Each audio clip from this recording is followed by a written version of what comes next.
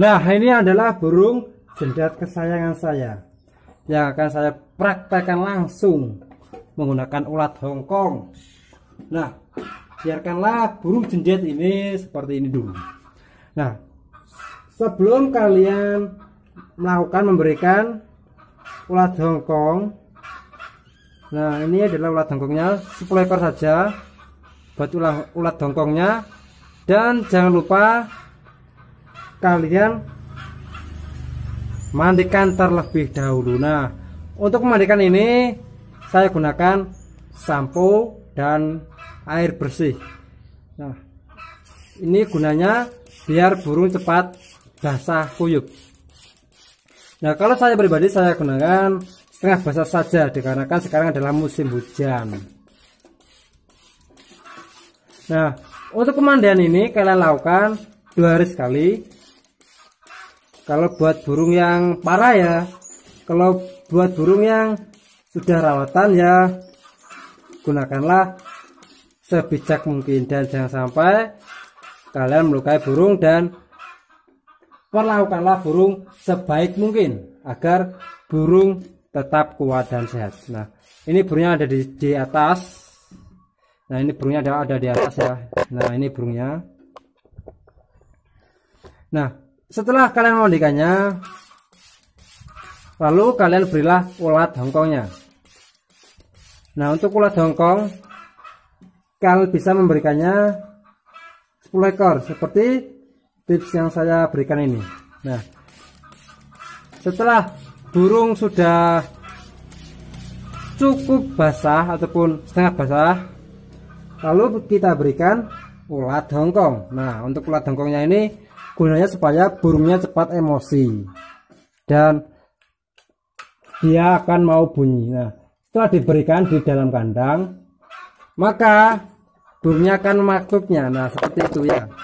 Burungnya akan mematuknya biarkan sampai burung tersebut memakan ulat hongkong hingga habis. Kalau saya pribadi saya kasih 10 ekor. Nah tergantung dari kalian sendiri dan tergantung dari burungnya sendiri entah itu berapa entah itu 5 ekor 6 ekor atau bahkan lebih dari 10 ekor juga nggak masalah.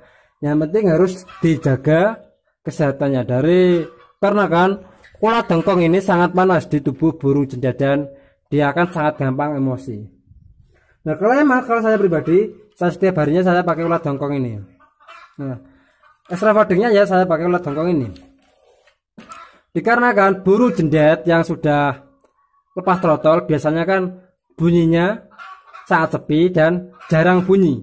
Nah untuk merajinkan bunyinya agar dia mau gacor, saya gunakan ulat dongkong. Nah untuk versi yang lain juga ada, juga banyak pakai jangkrik juga ada.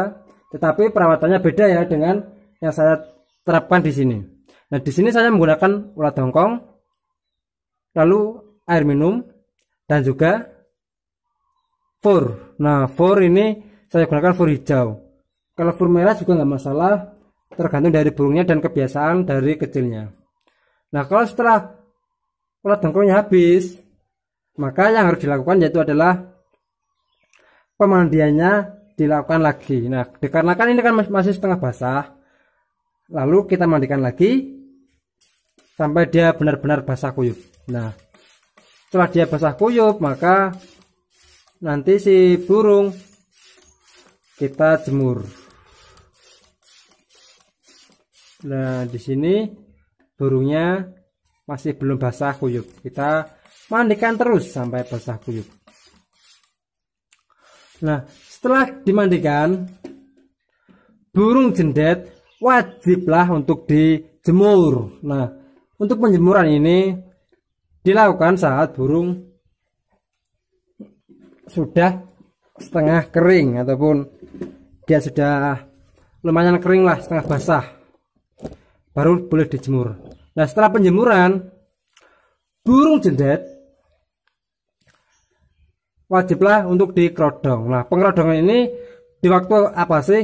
Pengerodongan. Pengerodongan itu dilakukan di waktu saat sore hari jam 6 sore hingga jam pagi. Ataupun jam 6 pagi juga bisa. Nah untuk itu kalian harus menggunakan kerodong yang tebal. Jangan sampai kalian gunakan kerodong yang tipis dan kerodongnya harus pas sama sangkar.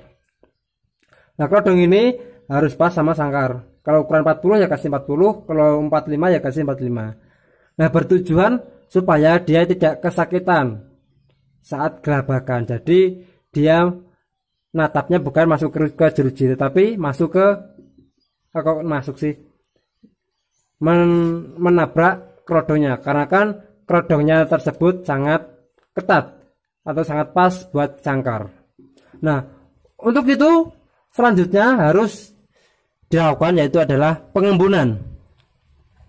Nah pengembunan itu dilakukan di pagi hari ya. Untuk di pagi hari kalian embunkan sekitar jam